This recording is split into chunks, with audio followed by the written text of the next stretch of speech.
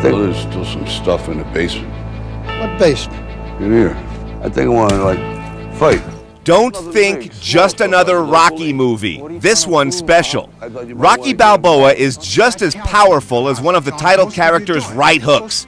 Well written and emotionally draining, it's filled with an important message and so much better than anyone expected.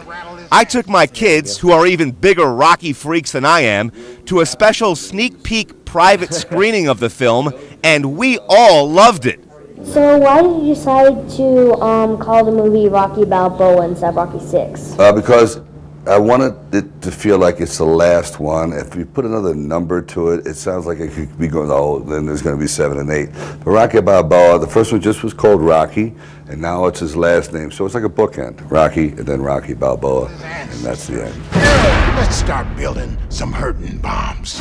Everybody has a favorite Rocky movie. What? Which one was your favorite? Oh, you know, I like bits and pieces like this. I, I, I love, you know, working with Hulk Hogan. That was unbelievable because that you can't fake that. I mean, he was big and there was gravity and that hurt. But Rocky One, of course, is because no one knew. It was like uh, it, it was like a miracle, and I, I love this last one the most. It takes guts climbing back in that ring knowing you're gonna take a beating.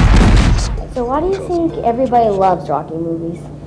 Because Rocky is just an average guy who has a lot of heart.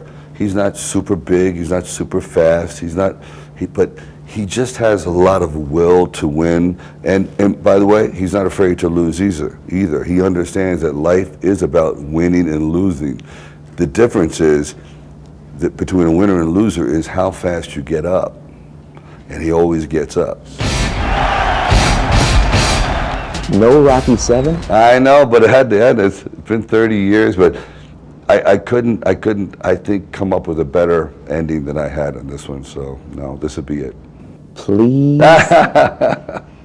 well, okay, you give me a good story idea. We'll talk about it.